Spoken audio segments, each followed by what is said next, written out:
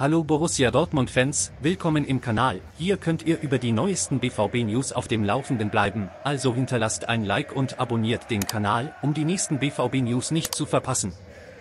Borussia Dortmund würde Interesse am Stuttgarter Rechtsverteidiger Josa Wagnomen zeigen, konkrete Gespräche dazu gab es bislang jedoch nicht.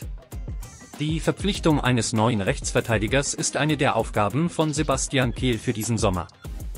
Und der BVB hat ein Auge auf Josa Wagnomen geworfen. Dies berichten die Stuttgarter Nachrichten, die hinzufügen, dass sich das Interesse noch in einem sehr frühen Stadium befinde. Laut der Zeitung fühlt sich der Rechtsverteidiger bei Stuttgart sehr wohl und hat noch keine konkreten Pläne, den Verein zu verlassen. Und auch der Bundesliga-Rivale denkt nicht darüber nach, den 22-Jährigen zu verkaufen. Wagnomen hat mit Stuttgart eine beeindruckende zweite Saisonhälfte hinter sich und wurde im März auch zum ersten Mal in die A-Nationalmannschaft Deutschlands berufen. Der ehemalige Hamburger kam in der vergangenen Saison auf 29 Einsätze und erzielte dabei insgesamt drei Tore und vier Assists. Seine beste Leistung erzielte er im April gegen Borussia Dortmund, als er Stuttgart zu einem beeindruckenden 3A3 unentschieden verhalf. Josa Wagnomans aktueller Vertrag bei Stuttgart läuft noch drei Jahre.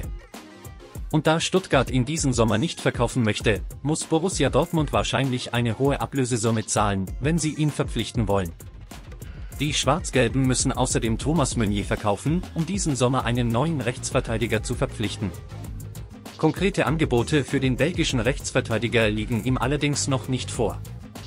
Es wurde berichtet, dass auch Matoi Morey den BVB diesen Sommer verlassen kann. BVB-Fans, schreibt eure Meinung in die Kommentare. Und den Kanal abonnieren, ich komme jederzeit wieder und bringe weitere Neuigkeiten vom BVB.